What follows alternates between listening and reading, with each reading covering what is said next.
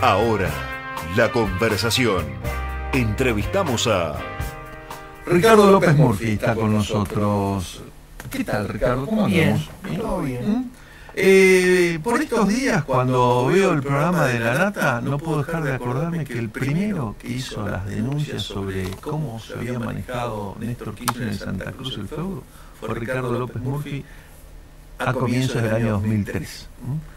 y yo me acuerdo de haber tenido varias conversaciones sobre ese tema con él, el primero que denunció lo de Gotti, el primero que denunció eh, lo de la pesquera, el manejo de la obra pública y todo esto que ahora todos ven por televisión, bueno, 2003, Ricardo López Murphy. Ricardo, ¿por, por qué piensa que ahora le entran las balas eh, en términos de corrupción al gobierno? ¿Por la situación económica? A mí me parece que ha habido un, digamos, un cambio en las actitudes el conjunto de la opinión pública. y también es cierto Pero el disparador, ¿qué pensás que es? bueno puede ser el, el, digamos la decepción con la situación social y económica puede ser también que el formato comunicacional elegido Claro, la televisión. o sea yo creo que muchas cuestiones que yo planteé a lo largo del 2002-2003 no y ojo que estaba muy bien en las encuestas se me escuchaba pero había como cierta incredulidad, eran cosas difíciles de creer. No, yo me acuerdo de un importante hombre público de Argentina que me decía, usted es un hombre serio, no puede decir que se hayan extraviado los fondos. Y bueno, pero no lo encontramos. Ese tipo de cuestiones lucían increíbles para la sociedad. Me parece que más preciso que yo, porque yo lo que hacía era en todo caso, salvo en los fondos de Santa Cruz, donde fui muy a fondo, en los otros temas yo titulaba. El que había hecho un trabajo muy cuidadoso era Jorge Asís, que había ido hasta el final, o sea, sí. publicó un libro hace muchísimos años que se llamaba La, la Marroquinera o La marroquinería de la política. y era una cosa escandalosa, el Club de los 500, donde explicaba problema de los billetes de 500 euros, es decir, todas las cosas que uno quería saber estaban ahí. Eh, Ricardo, de todas maneras, hoy te traje porque en otro tema sobre el cual has tenido una actitud también pionera es en la necesidad de formar un frente sólido en la oposición como para ponerle un límite a lo que parece ser la desmesura y el ir por todo y el intento de reforma constitucional que si tuvieran la oportunidad de hacerlo sin duda lo harían. Este, de hecho lo están haciendo sin reformar la constitución a través de la reforma de la justicia, ¿no? Es una reforma fáctica. ¿eh? Eh, pero vos fuiste el primero en decir, bueno, yo quiero trabajar por la unidad de los distintos sectores, etcétera, etcétera, inclusive poniendo de costado tus candidaturas o tu posible candidatura.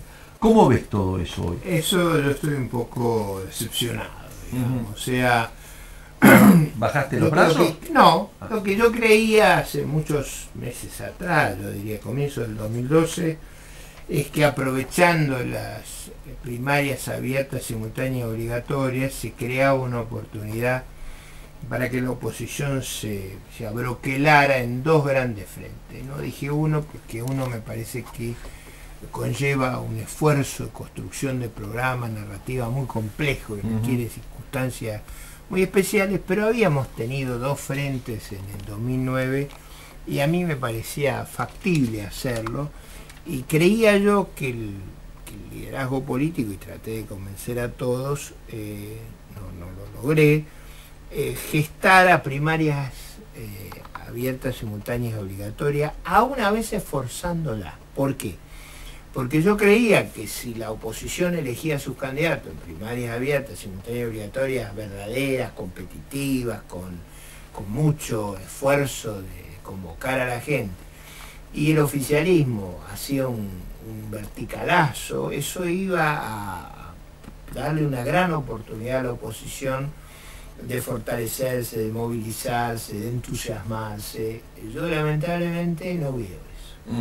Primero, debo confesar, lo puedo decir públicamente, que en to- todo el mundo que hablé hay una enorme reticencia a que sea la gente la que ponga a los candidatos. O sea, la- digamos, hay como una suerte de kirchnerismo tenue.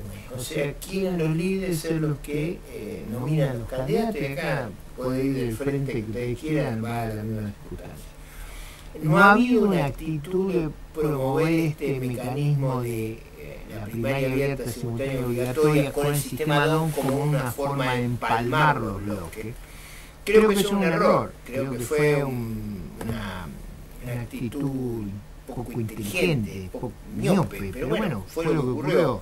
O sea, hoy estamos en una incertidumbre enorme y faltan ocho días para presentar, no sabemos, no se sabe quiénes son los candidatos.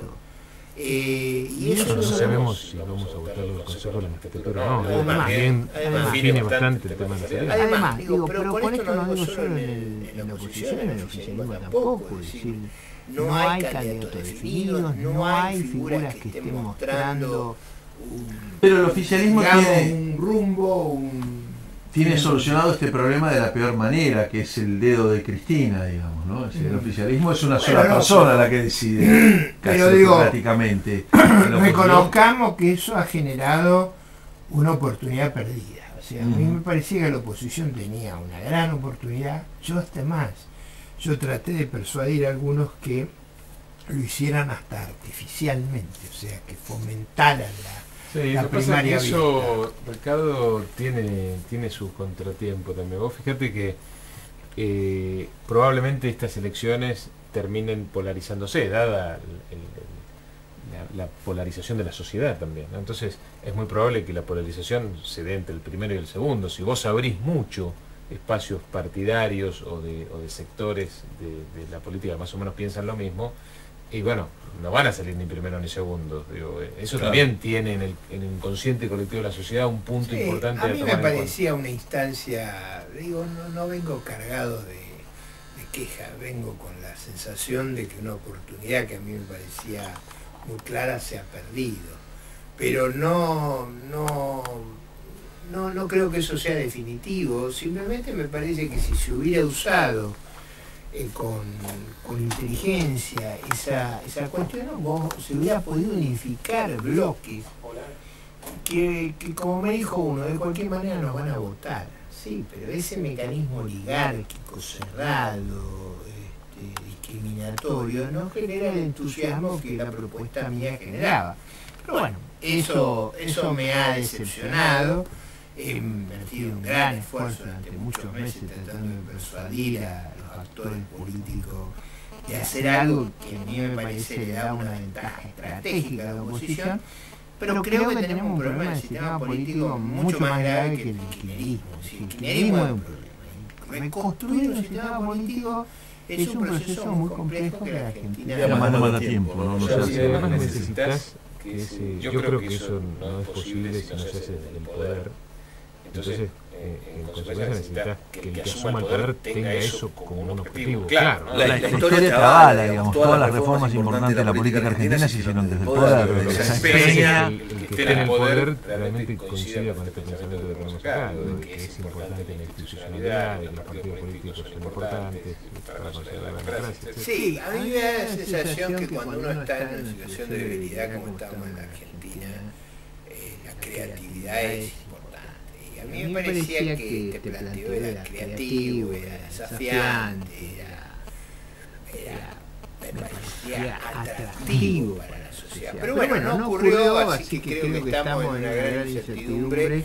Me parece que eso debilita la oferta opositora. Pero más Bueno, que el, el otro tema en el cual, y hoy va a parecer este, que, que te estoy llenando de flores, pero a veces eh, hay críticas para López Murphy, pero el otro tema en el cual fuiste uno de los pioneros fue en el 2011, muy tempranamente dijiste que el triunfo de Cristina iba a ser amplio, lo dijiste por supuesto fuera de los micrófonos, pero que esperabas un- una victoria amplio y casi irreversible, ¿no? Mucho antes de las pasos. En realidad lo dije en el primer semestre del 2010, Ujú. antes de la muerte de Néstor Kirchner.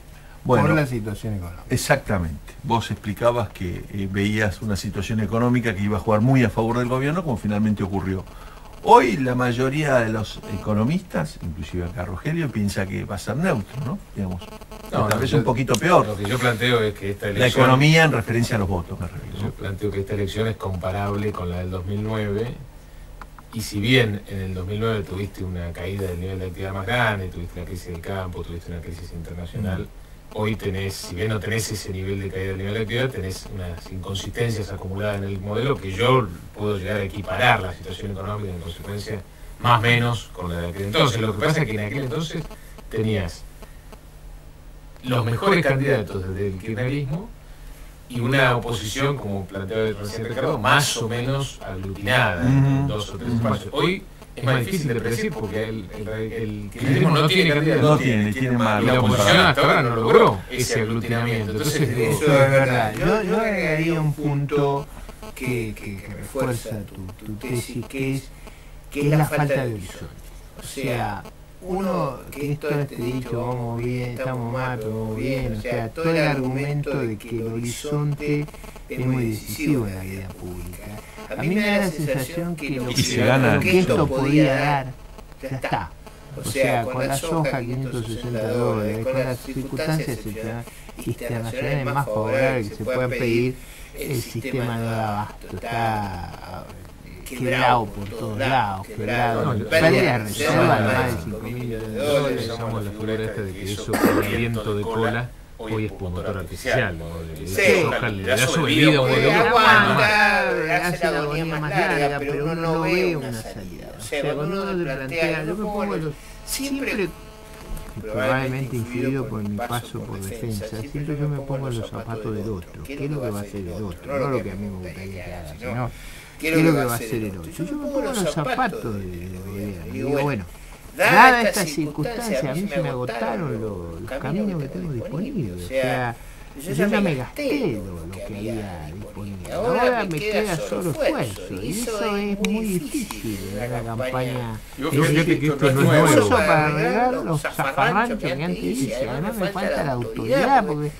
pedí esfuerzo. ¿no? Dice, bueno, fue culpa de otro. Pero decía, además, déjeme arreglar las patanas que hice yo. Es más difícil.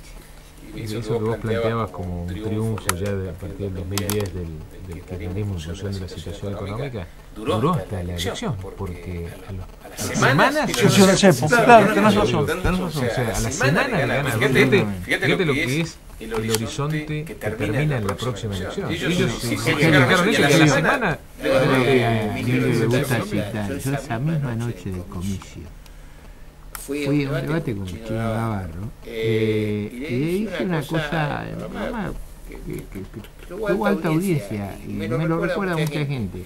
Las fotos con las que ganaron tienen nada que ver con la película, no aguantan semanas. En realidad me equivoqué, fueron días. O sea, tuvieron que pegar un sacudón que fue revelando que habían gastado todo en el esfuerzo de selección y que no quedaba más, y no quedaba más, no hay, eh, fíjense el cambio de gabinete, no, no hay, no hay novedades, no hay, no hay nuevo enfoque, salvo No que salvo, salvo que en, en la Fuerza Armada se ha hecho otra cosa muy conflictiva, que es, no, yo no, no, juzgo sobre la- el mérito de unificar la obra social, que es un tema que tuvo muchos estudios, pero el problema es que la obra social de la Fuerza Armada y de las Fuerzas Armadas crisis porque se pagan salarios negros. O sea, si uno paga 40% de los salarios negros, es casi inevitable que la obra social entre en crisis.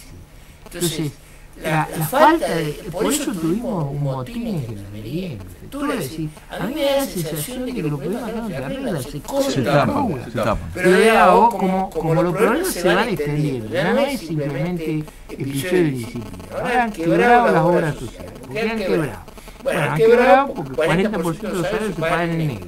Y eso es una obra social, digamos, hay más de 600.000 personas, ojo. Ujú. Que Eso, eso- que también votan esas 600.000 Claro, personas. sí, verdad que Ricardo complicado donde digamos una, uno de los atributos de las carreras de la Fuerza de Seguridad y de la Fuerza Armada era que había una, una cobertura, digamos, vivienda, en obras sociales, en retiro, todo eso Se se pagaban mal, pero te daban otras cosas. todo eso se ha desvirtuado, digamos, y me parece delicado.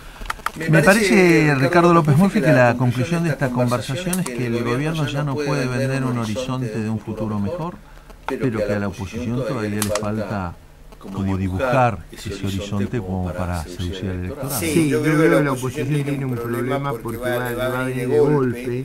Eh, fíjense, una- un distrito tan importante como la provincia de Buenos Aires, 40% de los votos a nivel nacional. Está, todo el mundo aguardando qué es lo que va a ser un candidato que no se sabe si es kirchnerista o si es de oposición y que, que, tiene un nivel en las encuestas impactante. Entonces, hay algo en nuestro sistema político que no funciona. Y yo digo con todo respeto y con, con toda la prudencia del caso. Si uno, le pregunta a muchos ciudadanos qué es lo que piensa Massa sobre los temas, nadie sabe. Sin embargo, tiene una encuesta impresionante. Y eso eh, eh, forma, es otro problema de la crisis política que mencionamos. Uno podría estar de acuerdo o no, por ejemplo, en 58 con Fabricio, con Malvino. Lo que nadie tenía duda de lo que pensaba. O sea, se sabía con claridad. Había, eran, eran planteos muy claros. Digamos, en el 73 uno sabía el que votaba Lula, el que votaba, el que votaba sí sabía perfectamente. En el 89 con Menem, ¿no? O sea, había un debate muy claro en la sociedad. Y eso no, no, y ojo que no quiero poner duda acá, yo tengo una diferencia abismal, oceánica para el gobierno, no, no, podría tener nada que ver, pero digo, me da la sensación de que ese debate no está sobre la mesa, está en otro foro. En eso estamos trabajando siempre desde este programa, tratar de instalar ese debate. Gracias Ricardo. López por habernos acompañado.